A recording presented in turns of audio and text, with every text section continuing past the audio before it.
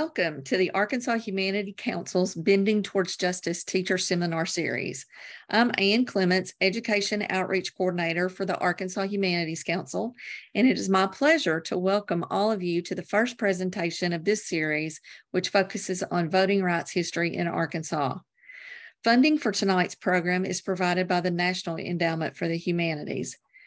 It is now my honor to introduce you to our two presenters this evening, Dr. Joseph Key and Dr. Thomas DeBlack.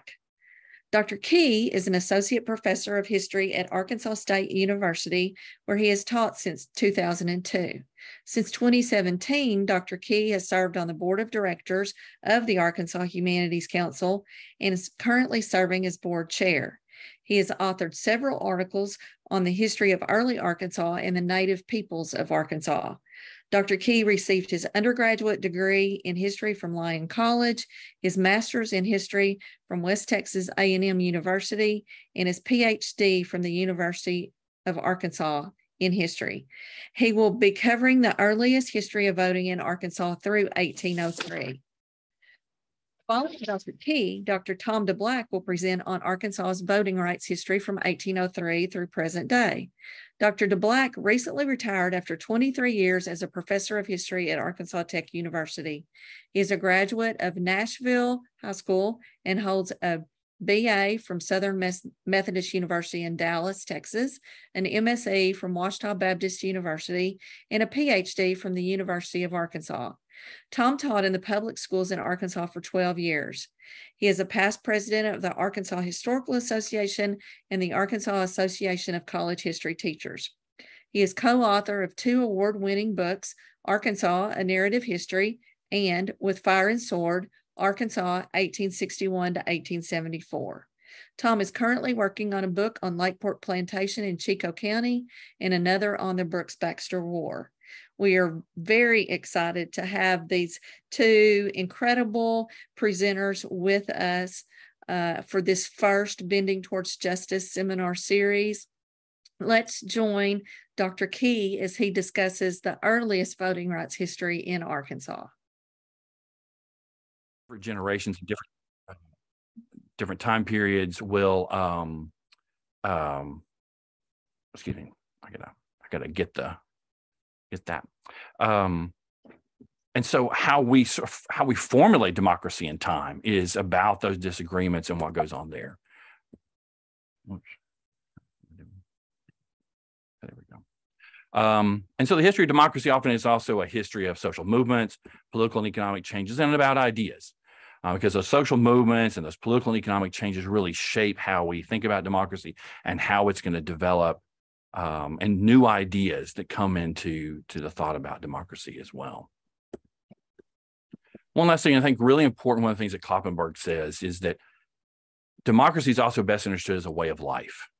You know, we think about it, it's not just a set of political institutions. Because we can think about in this country that we have a government, we have these institutions, we have different levels of government, but we also sort of live it out all the time.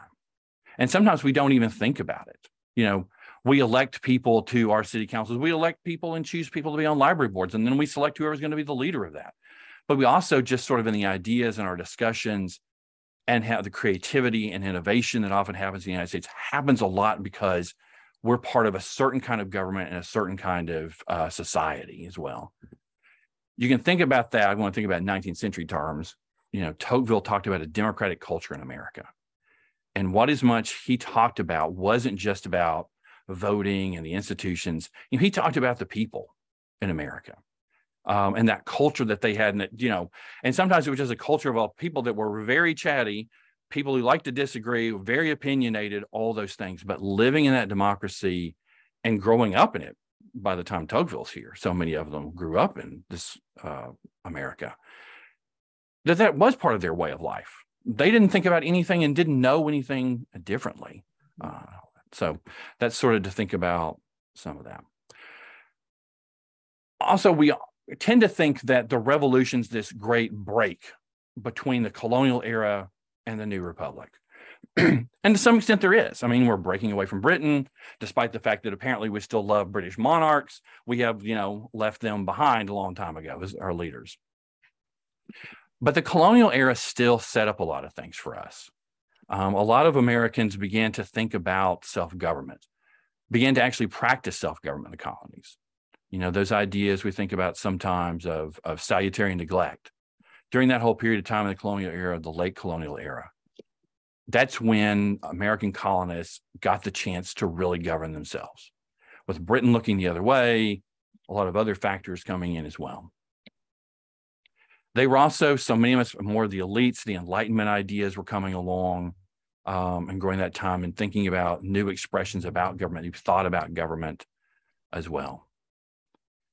And in, even before the revolution, there's a lot of popular protests in the colonies. Mm-hmm. And those things are being influenced by this the self-government that these colonists have.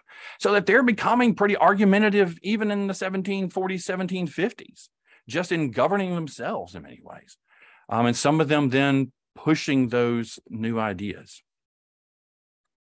But one of the things they all came to see, or was one of the ideas that they all began to believe in, that ultimately the government, their way of life was supposed to be about the common good, not just self interest. So, you know, well, later on in the early republic, we'll often talk about people who are virtuous. And people who are virtuous are those who will do what's good for the for everyone for the government as a whole, for the nation as a whole, not just their own self interest. So, anybody, let's say, who's dying to be president, let's say, well, that person may be pushing for themselves a little bit too much and not thinking about what can I really do uh, for the nation as a whole. So, by the time of the revolution, these colonists have already developed a, a culture of self government. It's not new for them to govern themselves, to work together on that government. That's not a new thing for them. So the transition actually becomes easier for them uh, than it will in in many countries. Um, I think too often Americans think it's going to be go in, you overthrow a tyrannical government, you tell these people, okay, you're going to be a democracy or a republic or whatnot, and it's just overnight that's going to happen. And we know it doesn't happen that way. They don't have that culture, they don't have that history and experience for that to happen. It's going to take time. Now, we're not necessarily talking about anything like a mass democracy, and we'll we'll get into this a, a little bit later, um, where everybody's getting to participate, of course in the colonies, what made things so different and why as many people are participating as there are, and more than Britain and other parts of Europe, is that most of the colonists, of course, are landowners. And that's the thing for so many of them. That's how you get to participate uh, in government and politics. Makes the, uh, that they're eligible to vote then and participate in this. And of course, oftentimes some of these elections, even on the colonial level, not just the local level, they're voting annually. So they're used to having constant elections and voting on something throughout all this. And so that's, you know, they're represented on the local level, they're represented on, a, on the colony wide level. And in some cases, there may be more representation on the local level than it is colony wide. Um, and maybe who is representing them, that may be in a more elite group, even uh, than just uh, who the voters are. So they're coming to expect a popular sovereignty, a government that speaks to them, a government that listens to them and has to speak to them and has to listen to them in many cases. Now, again, we're still talking about some limitations here and limits here, uh, all this. So uh, James Otis, who's one of the great revolutionaries, um, and who you know is the guy who also gives us the idea about taxation without representation, which becomes a great you know mantra of the uh, revolutionary era. You know, also said this: the power of a simple democracy, or the power of the is the power of the whole over the whole. Um, and so those ideas were there, even sometimes if some of the revolutionary leaders weren't sure how they really felt about democracy. There were a lot of them who uh, were pushing more and more for that and for this this movement toward democracy. And not surprising, maybe James Otis being from Massachusetts, which is going to be one of the more radical colonies and where those ideas about self government have been around for a long time. And of course, going along with those ideas, we know in the revolutionary era that it's also about securing rights and defending rights. And those Enlightenment ideas that really start to take hold that governments, one of its main purposes, if not the main purpose, is to protect the people's rights. You know, Jefferson says it right there. The Declaration of Independence says it right there that to secure that right to life, liberty, and the pursuit of happiness is the reason for government. That is the main reason for it. There are ideas about equality and pluralism. How far do we take that in time? Um, that'll become sort of those aspirations for the whole nation. Um, so we have the protection of rights there. And of course, it's, you know, also talking about protection of rights means that you're limiting government and you believe in limitations on government. The government only goes so far and has so much power. And maybe on one level it has some power, on another level it may have more, but all those are kind of balanced out in time. So when they're having these regular regular elections for the contest of these political parties or factions to control the government, everybody knows what that's about. And those factions change the colonial era and the revolutionary era. Those political parties will change uh, dramatically sometimes in their ideas. Mm-hmm. And, you know, in time, and this idea about securing rights and some of these Enlightenment ideas will add into all of this universal suffrage, suffrage, or more of a mass democracy becomes a sort of defining for our democratic uh, nation as well. Now, as the drive for independence picks up, 1775 and 1776, we're moving from a colonial, uh, from colonies to being states that drive for independence has also become is caught up in a political movement really toward democracy. It's very much a, a, a grassroots ground up movement. The Continental Congress becomes influenced by it. Thomas Paine's common sense helps helps fuel it in so many ways. And then it becomes about the petitions of the people that really push the Congress and the politicians toward independence. And some of them, you know, convinced by Paine. And Paine's common sense, so many times we think about it, it being that idea about, okay, breaking for Britain, why the king's not a good idea, all this kind of stuff. But it's also moving the discussion forward, even past what's the government going to look like after independence? Because you've got to give people some kind of vision about it, because so many of them are terrified about what what happens next. You know, John Dickinson, who is one of the great you know, opponents of British policy, but is so concerned, anxious about independence, and opposes it to the end, really, till the day of the Declaration. You know, he says it's we're going to be sailing off in a skiff made of paper. well, you know, you know, what kind of government's to you're to have after that? Then, so in some ways, Paine's trying to give us an idea about what that's going to give Americans an idea of what it's going to look like and why it's going to be better. It starts a debate about a new form of government what is it going to be a government without a king and nobility? You got the seeds of it there. What's next? So let's talk, you know, Paine was like, let's talk about a representative democracy, not just a monarchy, because it makes more common sense to have that representative democracy and not a monarchy. Yeah, and the government, of course, derives its power from the ballot not from somebody's birth.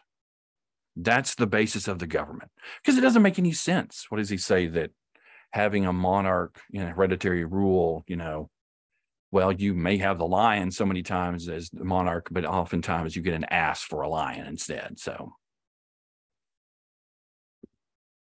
there's there's Tom there who's of course quite the radical and revolutionary and you know has lots of things to say about a lot of issues and a lot of the other revolutionaries are like yeah mm, tom you need to stop talking now. Okay. So what about this grassroots democracy in a way that's that's ignited by this common sense? I would say it's this is common sense isn't the only thing that ignites it but that's helps push it along. It kind of gives helps give voice to a lot of what people are thinking there are petitions from all over the colonies, from community community meetings that just are thrown together, general assemblies in those colonial uh, general assemblies, and they start to petition Congress and saying, "Vote for independence." There's this increasing and popular support for independence that the Congress can't ignore anymore you know, a lot of that's going to be from New England, where again, we're going to have more people are going to be pushing for that kind of stuff. They're used to that. But it's it's basically a pressure campaign against Congress. The state general assembly start to make, you know, their calls for that by April of 76. North Carolina is making a call for independence. And one of the things to remember too that's happening in a lot of these colonies, the Continental Congress the year before had basically told these colonies, set up your own governments Up your own governments in defiance of the king. So, you know, Patrick Henry and the Virginia House of Burgesses just walked down to a different building and set up shop again in defiance of their governor, the king's appointed representative. So in New England town meetings and county meetings, there were instructions that would go to their um, um, their members of Congress and their associations um, to their colonies. Sometimes they move it on to the colonial assembly that moves it on then uh, to the Congress. Grand juries that were meeting, and sometimes we think about those as just being judicial and legal. Sometimes they could be very political. They took other actions in some colonies. They were passing resolutions to do this. And then sometimes it wasn't any sort of political organization, it wasn't any kind of elected group. It's just simply labor unions, associations, militias. You know, they're called out those volunteers. They're getting together and making those statements in favor of, of, of democracy or in favor of independence as well. And in Pennsylvania, when I talk about the associators and the militias there, the Philadelphia Association was a very powerful uh, political group. I mean, it was sort of an extra legal, extra political group there. And so members of the Continental Congress would have known very well what that association thought because they're, you know, going out drinking with them maybe a lot of times in some of the taverns or around there eating with them. And those guys were not quiet about how they felt about things. This, these are groups and organizations that were, you know, that there's some new work being done on them, especially in Pennsylvania. That's, I think, really good, showing a lot of, uh, again, democracy as a way of life. You can think about it. There's also the idea I should tell you that you know talking about some of the contested politics of the colonial era, like in the 1740s, 1750s, there's a big brouhaha in Pennsylvania. and Benjamin Franklin, we think about the great revolutionary, the old man of the revolution, all this. Benjamin Franklin loses an election because he's on the wrong side of what the issue is there. I mean, and he is not even close. They could care less, you know, who he was because he's wrong, they think. So so once we have, I'm going to kind of skip over the Declaration of Independence because I want to focus a lot on what's going on these colonies now states after the Declaration, kind of to help set us up about Arkansas and the territory there, because we kind of know the Declaration's there. We know the, the the great words about that, but of course, what that sets up when we declare independence is all these states now don't have any kind of governing document. They've had these colonial charters for decades, a century in some cases. And now they've got to write something new. So they start this flurry of activity to write all these new constitutions in all of these states.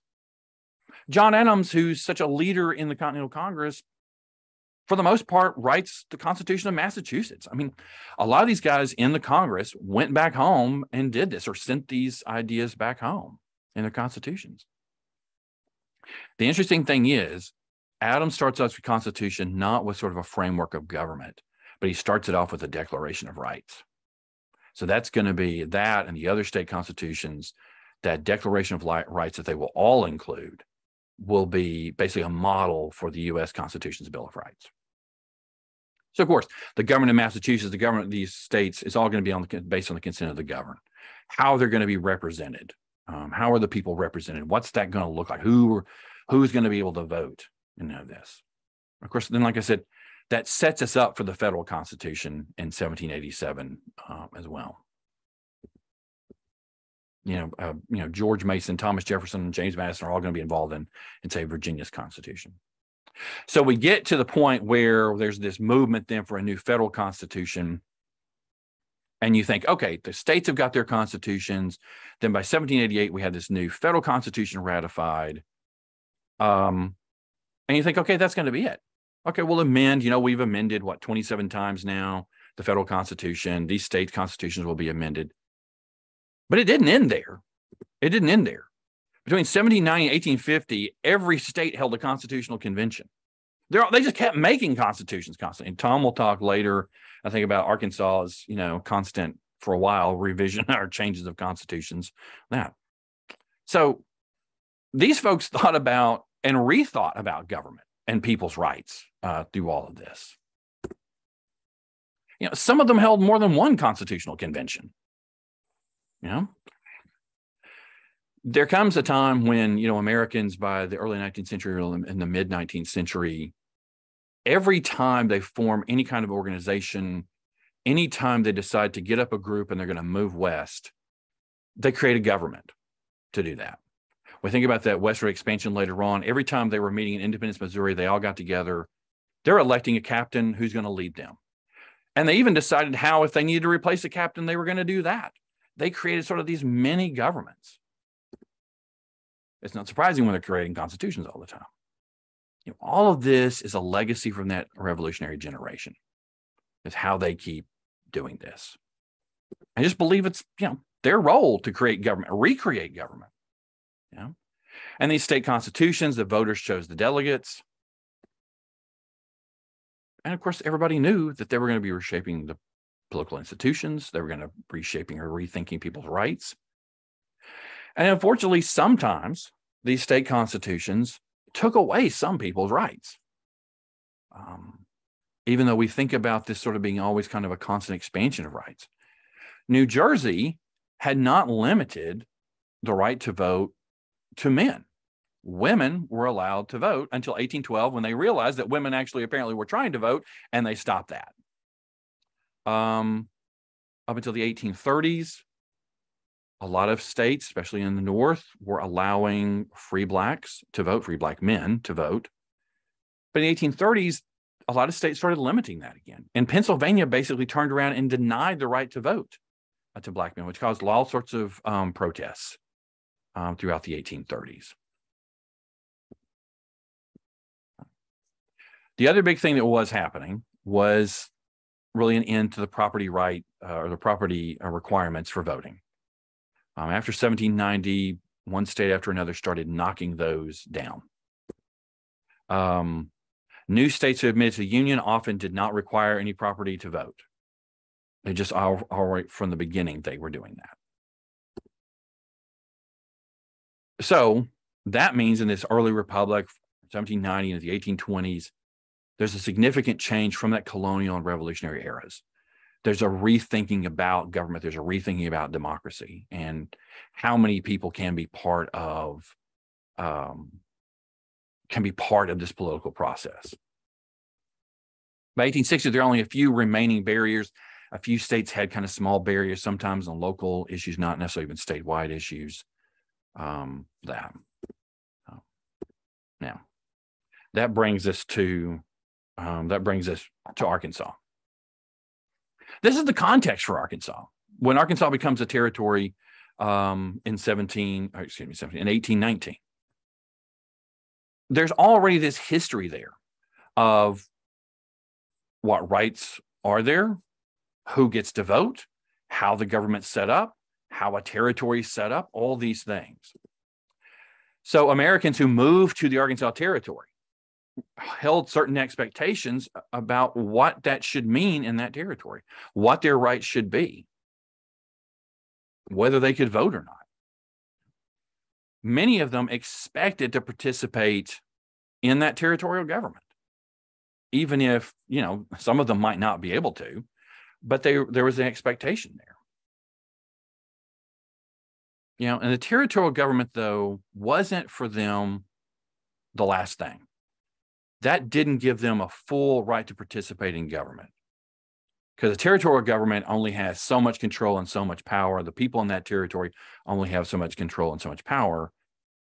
To have the ultimate goal, to have full political rights, is for statehood. Um, so they all knew that they had to start working toward that. And, you know, Tom will talk to you a little bit about how the group that really started the movement uh, towards statehood on that. Um, so the goal is statehood in their full political rights then in once statehood happens. On March 2nd, 1819, the, the territory is established by Congress, um, creating the offices of governor and secretary that are both appointed, not elected. By the president use the usual nomination process and the, the, you know the senate confirms them. They uh, decided on three judges who would be created basically three judgeships who would serve basically as the first legislature to kind of help get things started. But again all sort of um, created not voters not any political rights there at the moment so on that. James miller is appointed as the first governor many of you know. Robert crittenden is the first secretary and the man who will dominate much of Arkansas territorial politics for a decade. including shooting one of our territorial delegates in the process. So apparently he changed his mind about a lot of people a lot of times. So. But Crittenden would work with those three judges then to set up the laws and the government for the territory.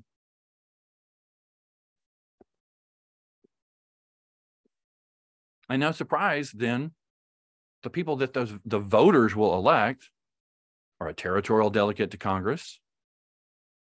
So Arkansas has somebody there representing it, but uh, a non, of course, as we know, even still with some of the territories of the United States, or all of them, that they have a non-voting delegate to Congress. A five-member legislative council was established representing the five counties and then a nine-member House of Representatives. So there, sort of the legislature starts to take effect, what these Americans would expect to happen and things that they would expect to vote for. And over time, other offices will be created, some appointed, some would be elected. But all these Americans who'd have been trained, had the experience of voting rights, had the experience of, of a, an expanding democracy, you know, a contested democracy, more we should say, um, now had that chance in Arkansas. And, you know, think if you're at the beginning on this, that it's your chance to sort of make a whole new government, really. You've got a lot of models here, but you don't have to go exactly with those models in doing that. As I said, this is contested citizenship and democracy in many ways. Because this movement toward democracy in the Arkansas Territory um, was expected, but it's incomplete. Um, they know that they that statehood's only going to uh, give them or guarantee them those full political rights. Um, they know that not everybody gets a chance to vote here. You know, we're still talking about we're not allowing women to vote, so that's half the population there. The other thing that's happening in the 1820s, kind of it completely at odds here with what's happening as the territory is created, is that of course we're going to expel the Quapaws from this state. The Cherokees who moved in for a short time, we're going to try to move them along into the Indian Territory as well.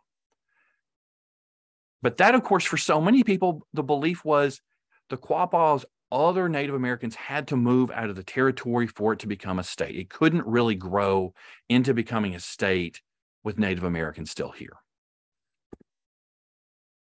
And at the same time, we're moving in a whole other group of people who are going to be enslaved and are there in a time when so many people in the revolutionary era thought slavery might be over by this time, or at least is going to be dying out.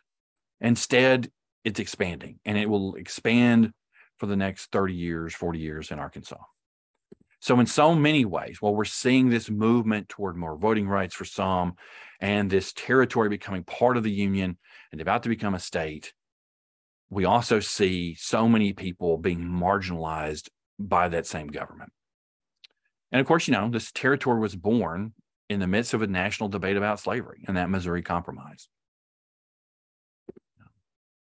So I'll just finish up here. One of the things about all this is, you know, it's an aspiration for democracy as much as anything, um, and maybe voter rights for so so many people.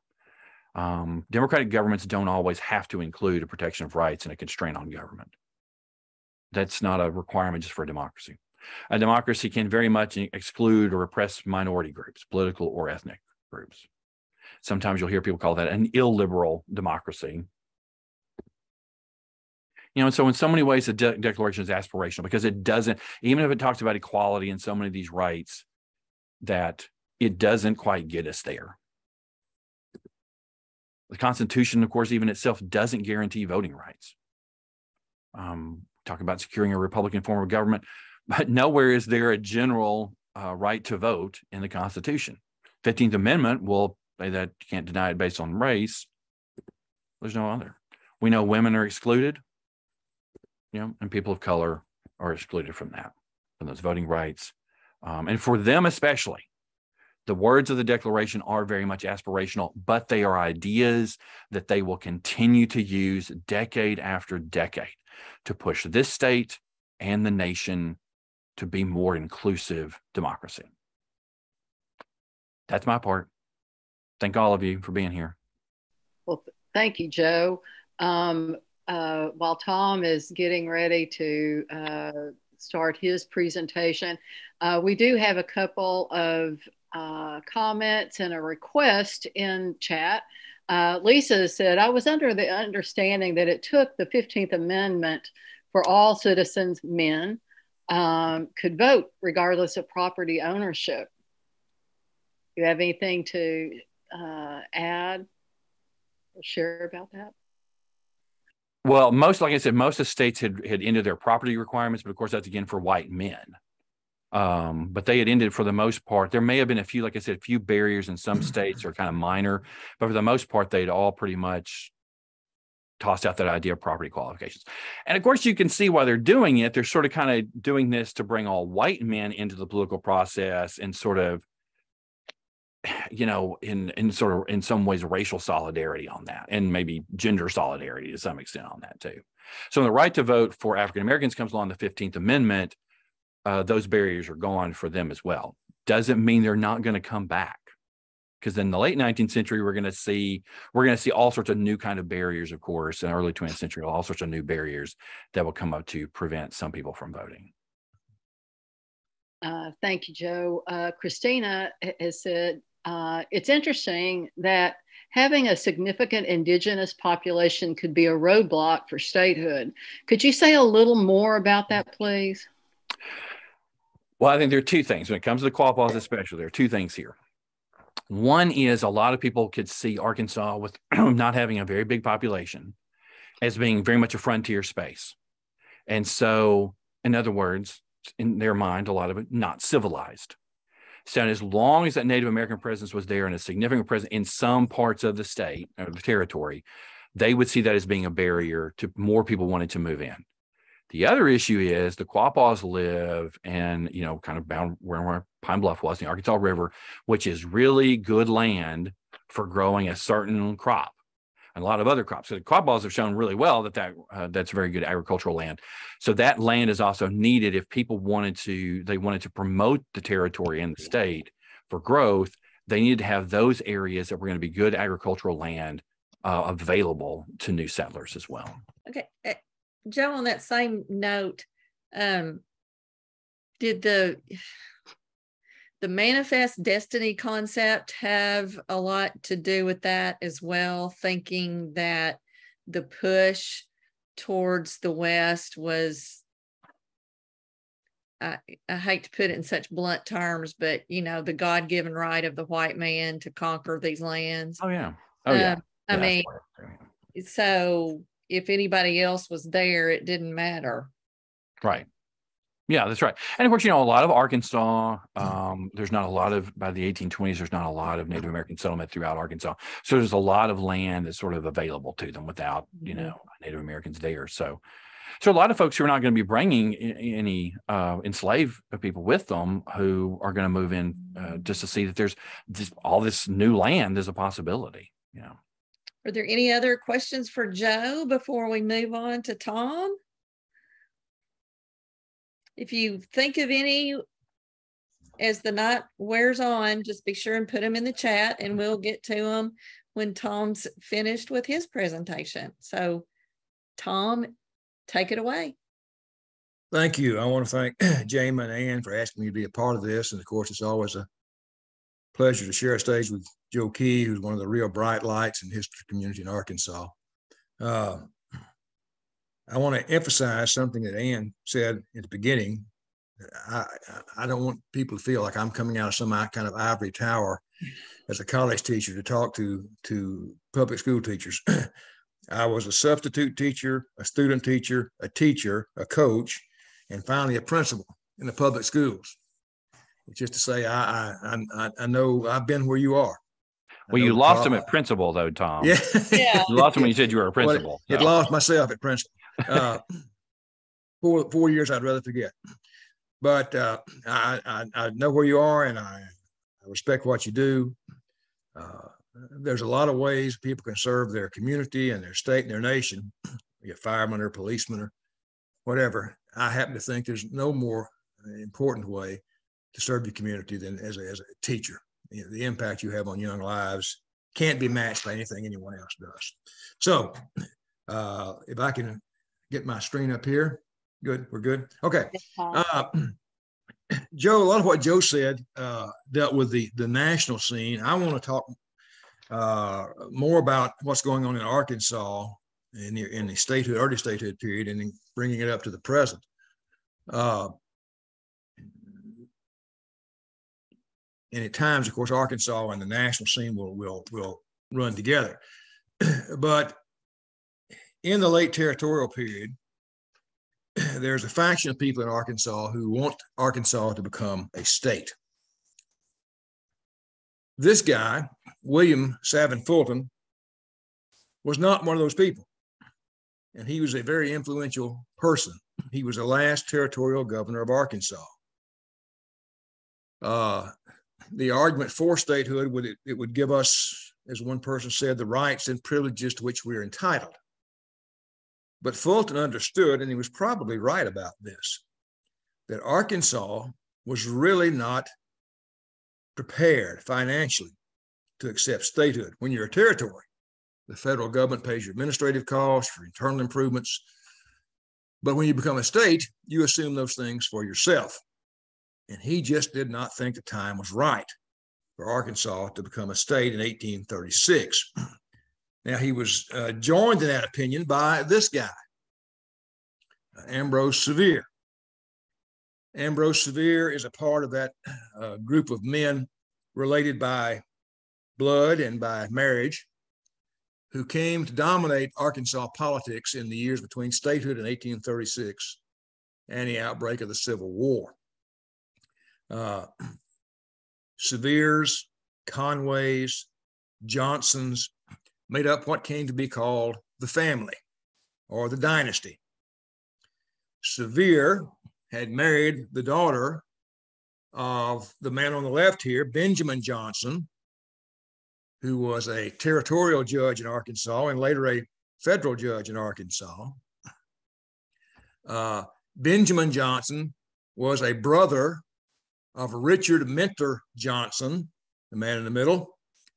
Uh, Richard Mentor Johnson had become uh, something of a, celebrity in the War of 1812. He was the man who allegedly, allegedly, fired the shot that killed the great Shawnee chieftain Tecumseh, and he built a political career around that. Uh, Richard Mentor Johnson had aspirations to be vice president of the United States in 1836. And the Johnsons and the Seviers and the Conways believed that if Arkansas could become a state and thereby get electoral votes, they could help Richard Mentor Johnson succeed in that. Uh, as it turns out, he does end up becoming vice president of the United States under Martin Van Buren. Then the man on the far right, of course, everyone recognizes Andrew Jackson. the family, this group of related men, were strong Jacksonian uh, Democrats. And they thought as if they became a state, they would have more power to uh, assist Jackson uh, in his political aims. But there was another factor, and this may have outshone all the rest. Uh, and that was the issue of slavery. This map shows, well, this map really shows the United States in 1819. Several interesting things about this. You'll notice the Arkansas Territory, Arkansas with a W on the end, in 1819, included much of present day Oklahoma. Uh, the area up there where Illinois and Indiana and Ohio are, by terms of the Northwest Ordinance, slavery had been prohibited there. But when Missouri asked for admission to the Union as a state, it asked for admission to the Union as a slave state. Uh, Missouri's it was eventually admitted as a slave state. It was balanced, and now this may be off the edge here. Uh, it was balanced by the admission of Maine, from the far northeast, as a free state as a part of what came to be called the Missouri Compromise. the Missouri Compromise also stipulated that in the remainder of the Louisiana Territory, what on this map is called the Missouri Territory, in the remainder of that territory, 36 degrees, 30 minutes north latitude would be the dividing line between slave and free. Of course, that's our northern border and Missouri's southern border. So, with the exception of Missouri, anything else that applied for admission to the Union north of that line would be a free state. Anything south of that line, which but it wasn't much south of that line. Remember, this is only the Louisiana Territory, not this area of the Spanish Southwest. so Arkansas will apply for admission as a slave state. Now, the Missouri Compromise had also set a precedent that since Congress was balanced between free and slave states in the Senate, that any any state requesting to come in as a slave state needed a corresponding free state to be admitted at about the same time. And word had reached Arkansas that Michigan, the Michigan Territory, was also preparing to request admission to the Union as a state. Michigan, of course, was a free territory. It would be a free state. And this is what changed Ambrose Sevier's mind. Go back to him. Sevier had, uh, as I said, opposed statehood in 1836. But the major consideration for him was the fact that if Arkansas did not jump in now in 1836, it might be another 10, 20 years before there was another free territory wanted to come in as a as a free state to balance off Arkansas. And so he changed his tune, changed his mind, became an ardent supporter of statehood in 1836, and that helped turn the tide uh, for statehood. Arkansas enters the Union in 1836 as a uh, free as a slave state, balanced by the admission of uh, Michigan as a free state. And it would, in fact, be another 10 years before another free territory requested admission. That was Iowa in 1846. So, for all these reasons, uh, the political powers that be became united behind the movement for statehood. Now, this being a group of teachers, it would not be right if we did not have a pop quiz. so I'm going to ask you four questions here. This is a grade your own work. There's no way you can fail. So start out with this one. How many, how many constitutions has the state of Arkansas had? How many constitutions have we had in our history? Quiz question number two. The state constitution that we are currently operating under was adopted in what year? Quiz question number three Which constitution gave African Americans the right to vote? In other words, the constitution that was passed in what year gave African Americans the right to vote? And finally, and I said this is sort of a trick question which constitution gave women in Arkansas the right to vote? And keep those four questions in mind as we go as we go along. Well, with the move for statehood in 1836, uh, you had to have a state constitution before you could you could uh, be admitted as a as a state. Uh, and the first Constitution of Arkansas was submitted on January 4th, 1836. It was written on longhand, written in longhand. It took eight pages. Now, if you've looked at the current Constitution, that's not much. As a matter of fact, some sources say four pages, front and back. but written in longhand, there's a section of it over there on the right. Interesting story about this. Once the Constitution had been written and approved, it had to be transmitted to Washington, D.C. And it was considered to be a great honor to be the person who got to convey the new Constitution to the nation's capital. The man chosen was a guy named uh, Charles Fenton Mercer Noland. That may ring a bell with some of you. He was a very uh, fairly popular writer in, the, in the, the, Southwestern Humor School, also a lawyer. And uh, Noland was given the the uh, the honor of taking the Constitution to Washington D.C. Uh, just as a backup, they put a copy in the mail. Well, Noland was very wary of storms. And so he took a very indirect route from Arkansas to the nation's capital to avoid those storms. And by the time he arrived, he found that the version of the Constitution that had been put in the mail had already reached the capital. So that took a little of the, of the, uh, of the honor out of the, uh, of the selection. The first Arkansas Constitution of 1836 was brief, flexible, more closely modeled after the U.S. Constitution than other Arkansas constitutions would be. There were no salaries set. Uh, slavery was recognized. Uh, emancipation re- required the consent of the owner of the slave. The governor, legislators, county officials were elected by the people. Secretary of State, auditor, treasurer, Supreme and Circuit Court judges selected by the legislature. Governors who would serve four-year terms had to be at least 30 years old and state residents. Now, what were the qualifications for voting under this first Constitution? This is Article 4, Section 2 of the Constitution of 1836. And it reads Every free white male citizen of the United States who shall attain the age of 21 years and a resident of this state for six months shall be deemed a qualified elector and entitled to vote. Let's look at that. There are five qualifications mentioned there. Free, which eliminated African American slaves. White, male, 21, citizen of the state for six months. No property or literacy requirements. But I'm going to go back to one and two. If you said free, white seems sort of redundant. Weren't all the African Americans in the state slaves? Well, no, they weren't.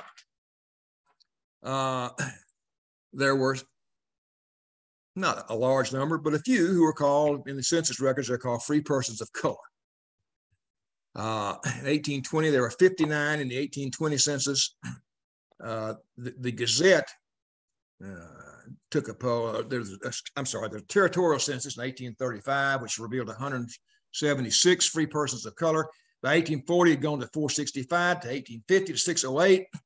And in 1858, that's not a census year, but the Gazette had commissioned a, a, a census of its own, which revealed there were 734 free persons of color in Arkansas in 1858. So the number is small, but it's growing.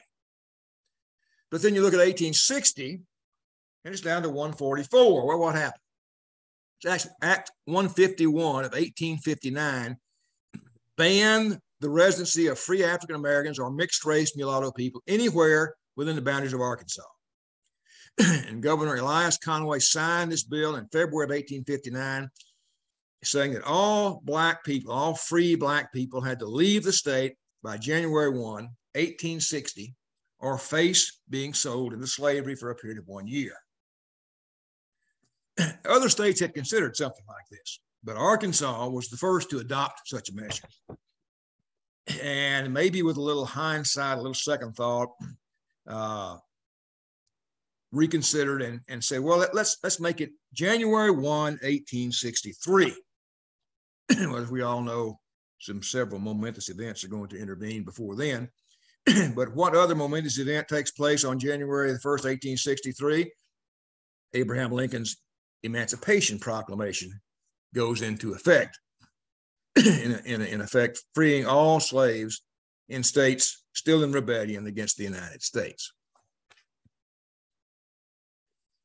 Of course, in 18, uh, uh, 1861, Arkansas holds a secession convention.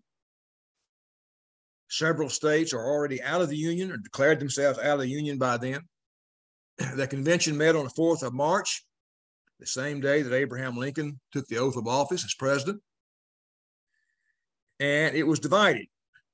Uh, delegates from the North and the West generally opposed leaving the Union. Delegates from the South and East generally favored it. Delegates from the North and West had a small minority, uh, had a small majority, I should say, of about 37 to 35 over the ones from the South and East. And on every measure that came up proposing that Arkansas secede, they were voted down. So the March convention, convention to consider secession fails to take the state out of the Union. Uh, this man, David Walker from Washington County, was a Unionist. he was no doubt pleased with that result. but then something happens. And that something is that in April of 1861, Confederate forces in Charleston attack Fort Sumter. President Lincoln issues his call for troops to put down the rebellion, including troops from Arkansas. And now Arkansas is forced to make a choice. Another convention assembles. Uh, it assembles in May. And by an initial vote, uh, with only five dissenters, uh, it votes to take Arkansas out of the Union and into the Confederacy. There was a call for unanimity, uh, and uh, all but one delegate voted for secession.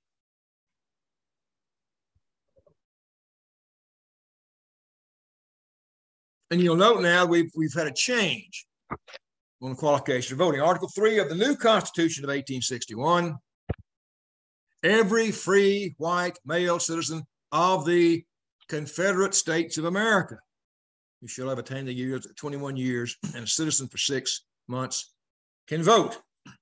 Free white male in the 1861 Constitution. All right. This is the Confederate Constitution. By 1864, the war has not gone well for the Confederates in Arkansas. Uh, and Little Rock has now fallen to Union forces the previous year.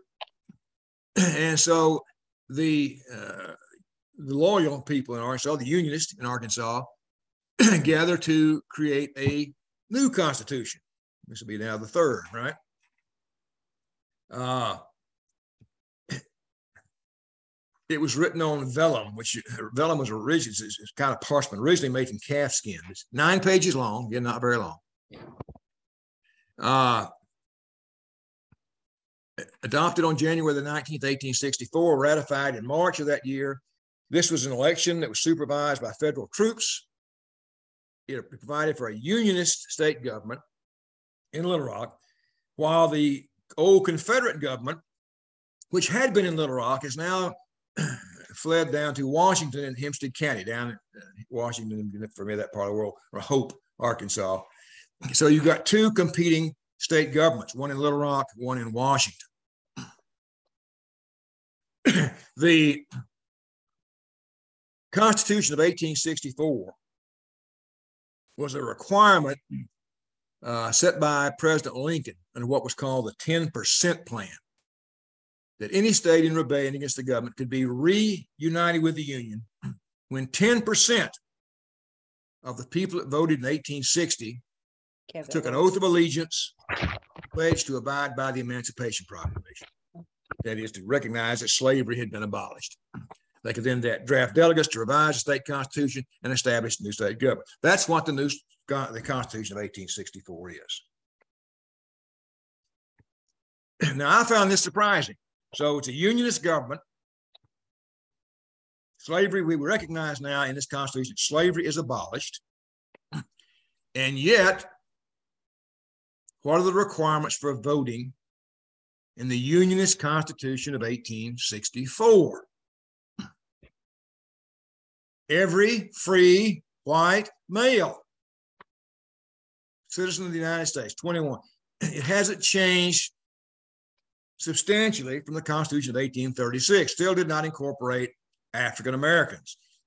Had to recognize slavery was abolished, repudiate secession, but did not define, define the rights of former slaves would enjoy. They were not included as voters, even in this Unionist Constitution of 1864. Well, by the end of the war in 1865, and by 1868, with numerous former Confederates disfranchised, unable to vote. And the Republican Party, Unionist Republican Party in control in Arkansas, they write another constitution in 1868. And I must say, this is by far uh, the best illustrated of the constitutions we've had. That's very, very good artwork there. But this Reconstruction Constitution is going to change things dramatically.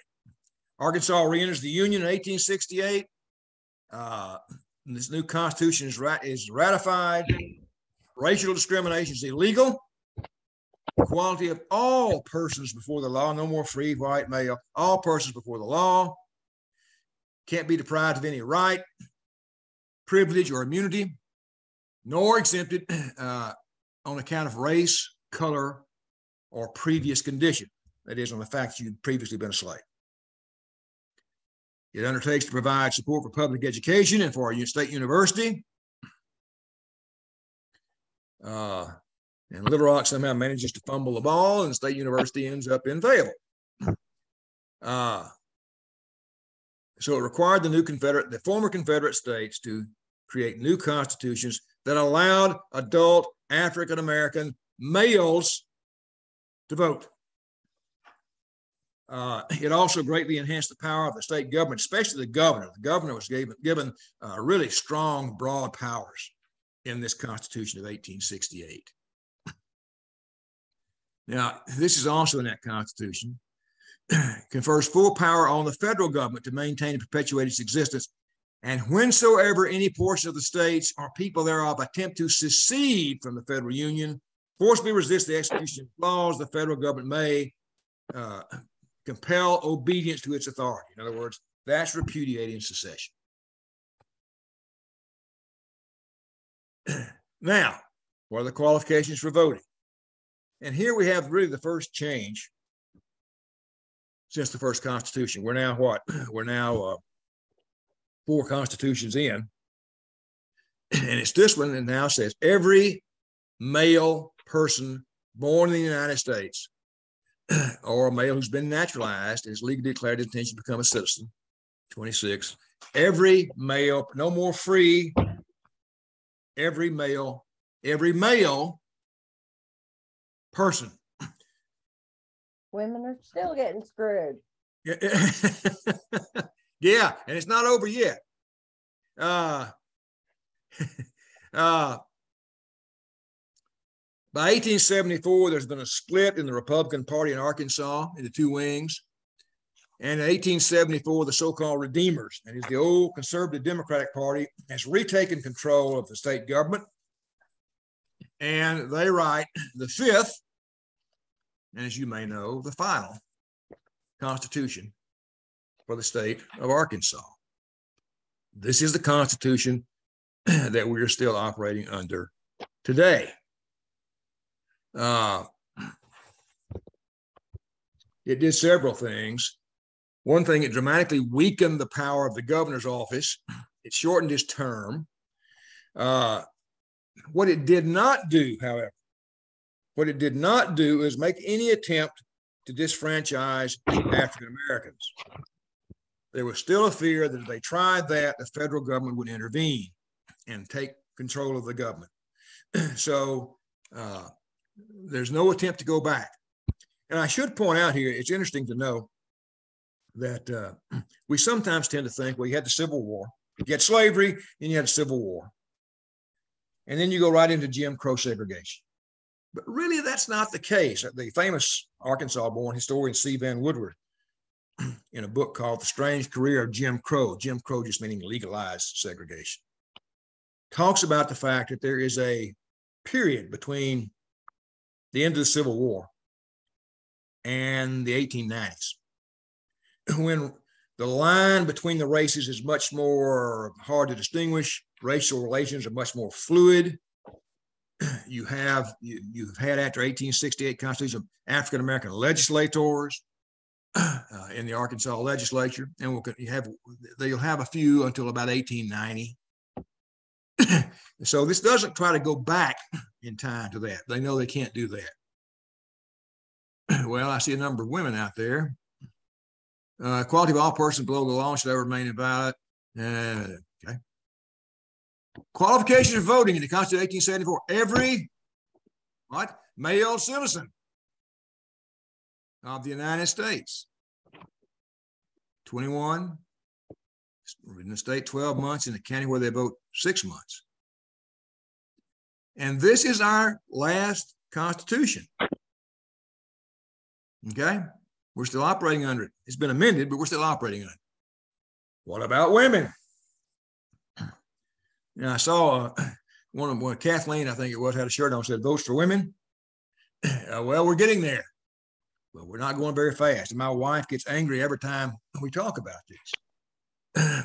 Uh, an Arkansas law proposing women's suffrage was initially introduced at the Constitutional Convention of 1868 but it did not become a part of the document.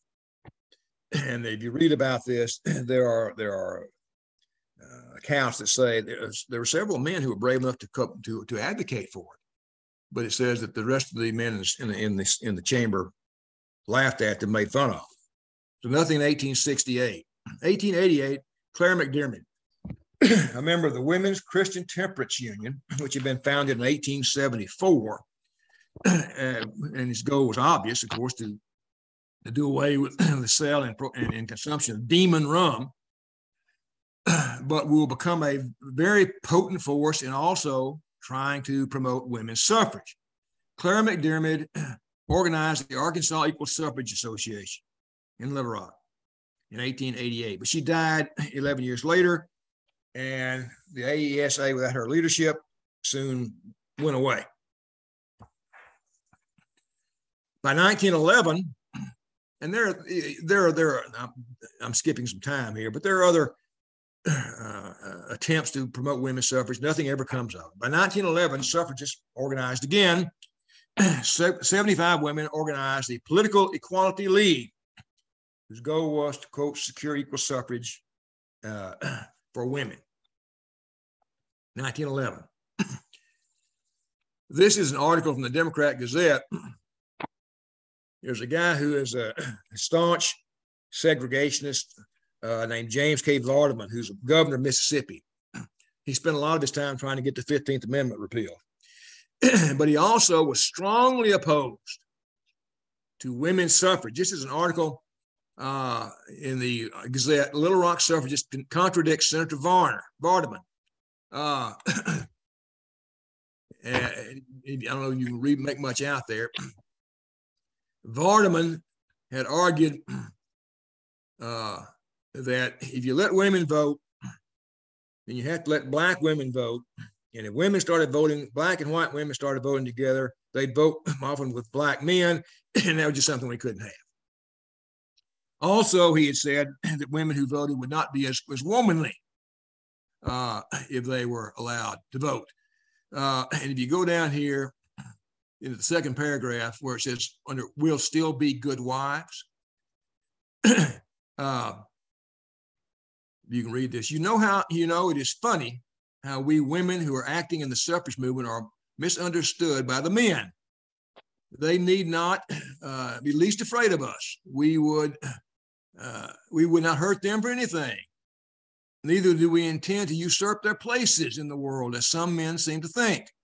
We only want to help them and share some of their responsibility. In the next paragraph, women will be just as womanly, will make just as good wives and sweethearts and as good mothers after they are granted the suffrage as before. Pretty good stuff. The movement for women's suffrage met strong opposition from the liquor interest in the state. As I said, by this time, the Women's Christian Temperance Union, who were hated by the liquor interest in the state, had become closely associated with the movement for women's suffrage. And the, the liquor interest uh, contended that women, quote, should not be contaminated with politics and that they belonged in the home. And so the proposed amendment of April 12, 1911 failed. Here's a picture of Adolphine Fletcher Terry and her sister Mary. They were both prominent suffragists. Uh, and she's from a very prominent family, of course, and, and used that uh, for the, in a campaign for social change, for civil rights, for education. This is a picture of her in about 1910 from the Central Arkansas Library's Encyclopedia of Arkansas. 1915, still haven't got to vote. The Political Equality League joined with the Arkansas Federation of Women's Clubs, uh, advocated a women's suffrage resolution. Once again, it was proposed for the Arkansas Constitution. Florence Cotnam, pictured here, addressed the House, and the amendment passed. We're going to get to, we're going to get women's vote in 20 in 1915, right? Well, no, it's it's Arkansas. No, we're not. Well, and this is still a, a part of the law, only three amendments can be considered any year by the by the uh, by the legislature and the people. Four were proposed. Guess which one got dropped? The women's suffrage amendment failed again to make the cut, and so women are frustrated again in 1915. In 1916, the suffragists brought in some heavy hitters from the national stage. Alice Paul on the left, Carrie Chapman Catt on the right, both came to Arkansas to campaign for women's suffrage in 1916.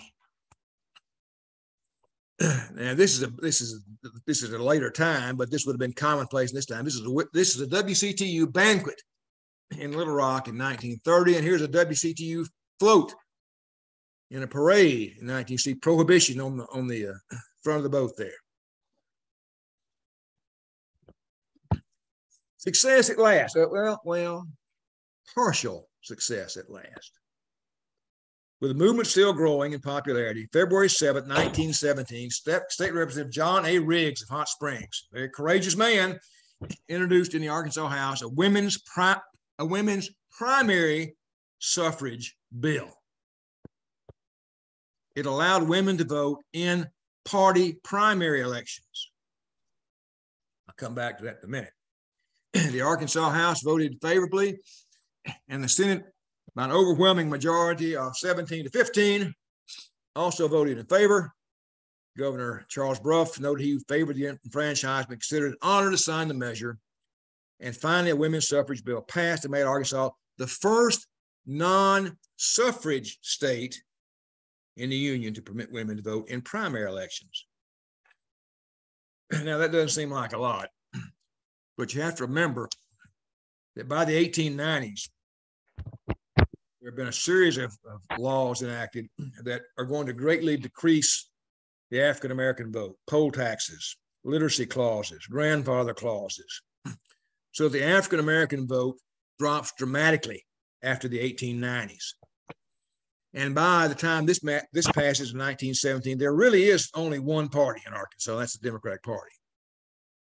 So the the uh, primary, the Democratic primary, was really tantamount to election. I can remember growing up in a small town in Southwest Arkansas, and on the night of the, of the Democratic primary, the courthouse grounds would be filled with people and they would come out and announce the results as they came in. And there would people be vendors selling food and drink.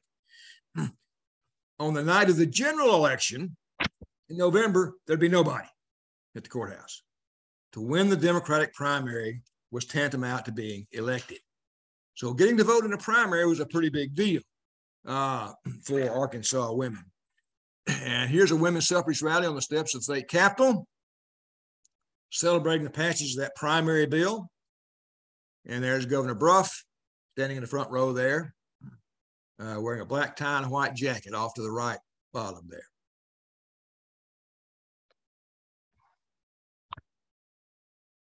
And here are the heroes of the day. Representative John Riggs of Garland County of Hot Springs and Governor Charles Brough.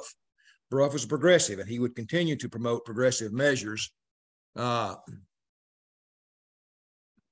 now, the next movement, of course, now you got the vote in the primaries, where we go from there. In early 1917, the Arkansas Women's Suffrage Association reorganized and became the Arkansas Equal Suffrage Central Committee, AESCC, to teach women how to work with political parties, methods of agitation, and uh, such as that. Because World War One now is going to start 1917. In the statewide primaries in 1918, more than 40,000 women voted, and there were 50 female delegates elected to the Democratic State Convention, which included a women's suffrage plank and endorsed, quote, unlimited suffrage for women, and supported a federal women's suffrage amendment.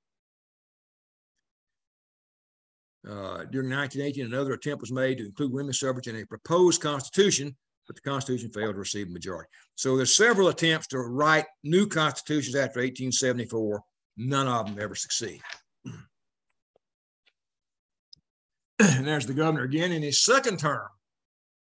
In his inaugural address, he endorsed the women's suffrage amendment to the Arkansas Constitution, as well as the ratification of the federal suffrage amendment.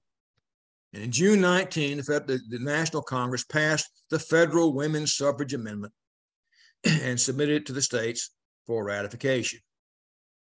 Only a mere 83 years after Arkansas had become a state are women given the right to vote.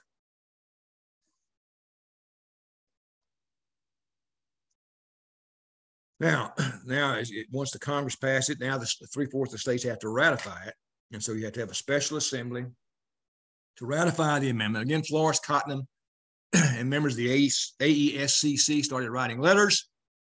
And many of the, uh, the, the uh, people in the assembly were enthusiastic, promised to be there and vote, and they did.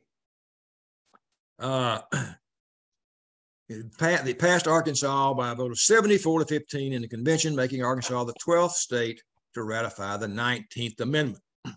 Women filled the Capitol carrying yellow banners reading Votes for Women. Kathleen, I think that's what your shirt said. 19th Amendment becomes law August the 26th, 1920. And here's what it is. Very, it's very brief and to the point. The right of citizens to, of the United States to vote shall not be denied or abridged by the United States or by any state on account of sex.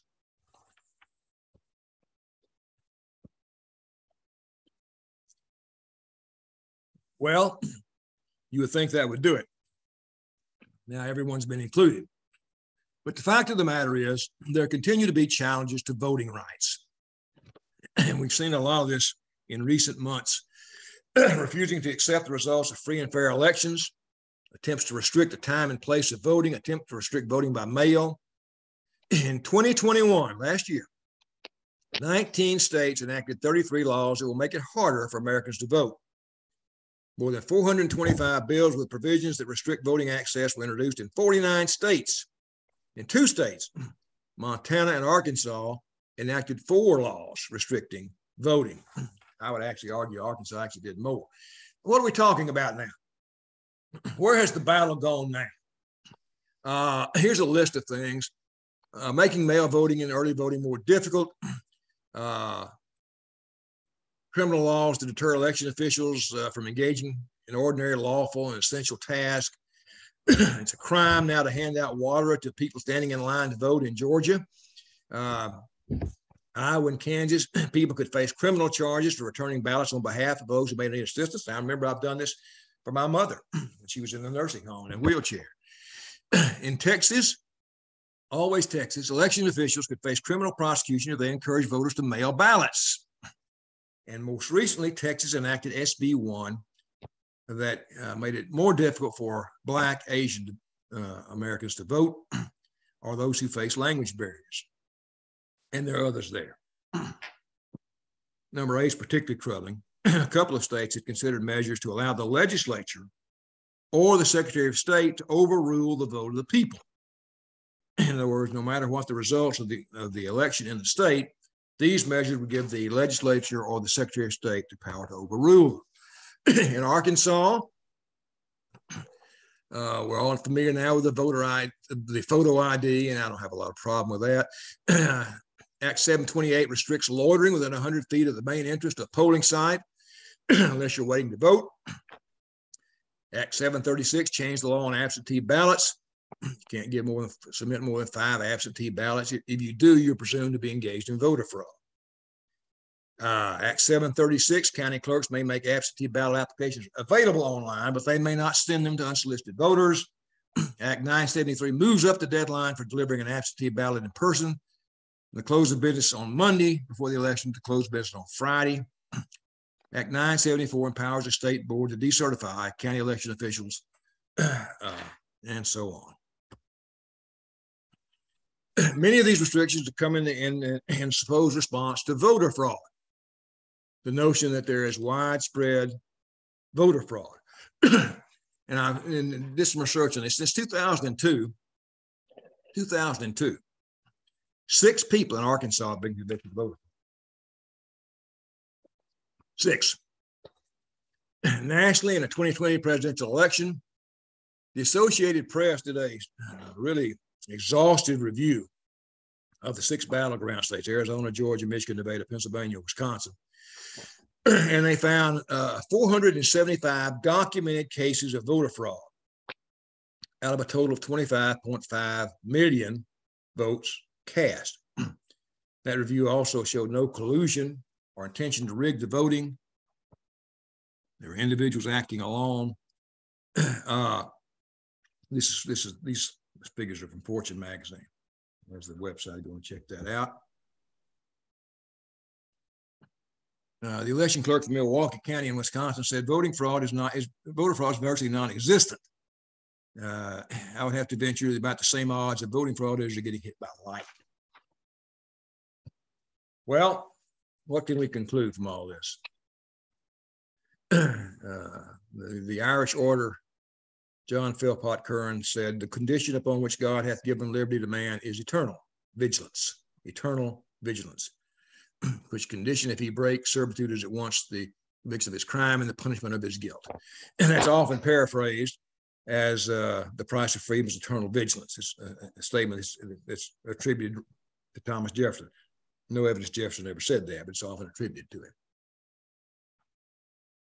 Uh, the sources, if you're interested in looking more into this, this wonderful resource we have, which I hope you're making uh, use of, uh, it's the Central Arkansas Library Systems Encyclopedia of Arkansas online. It's a fabulous source. These two articles that I drew on particular are from Kay Goss on Arkansas constitutions. Very good little summaries of what the constitutions did and Paula Kaiser Taylor on the women's suffrage movement in, in, in Arkansas. Uh, and all of, and the, most of the photos also came from the Encyclopedia of Arkansas History. So that's all I have. I'll be happy to try to answer any questions you might have. Two wonderful presentations. Gosh, so good. All right. Well, Anne, would you like, since we don't have any questions at this time, you want to share some little bit of news. Be glad to. Thank you both again.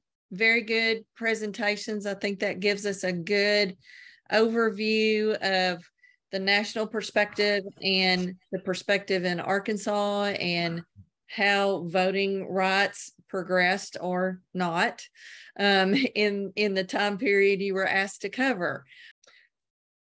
So if there's any questions about the Bending Towards Justice series, you can email me at aclements at arkansashumanitiescouncil.org. I'll be glad to answer any questions. Uh, look for the registration uh, link should be up uh, on our website and on our social media as of today. It should be up and active so you can register for that immediately. Uh, again, as I mentioned in the chat, all of the lectures that are part of this Bending Towards Justice series will be available on the AHC's YouTube channel. So they'll be available for viewing uh, soon after the presentations are over with. So again, I appreciate y'all taking the time out of your busy start of the fall school year. Um, I know we're probably halfway through it by now, but I still want to call it the start of the fall school year with September. But reiterate what we always say y'all are doing great work, and we so appreciate you. Uh, so, from me and all of us at the Humanities Council, thank you for everything that you are doing to create educated citizens, future citizens uh, of Arkansas that can use critical thinking skills to make decisions that are going to are going to affect all of our futures. If there's anything the council can do, don't hesitate to ask.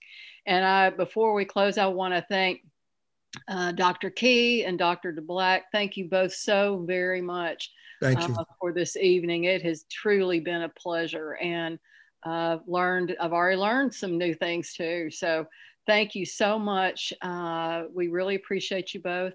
And thank you all uh, for joining us tonight. And we hope to see you back uh, next week. So uh, thanks so much and have a wonderful evening and a great weekend. Thanks, Jamie. Night. Bye. Bye.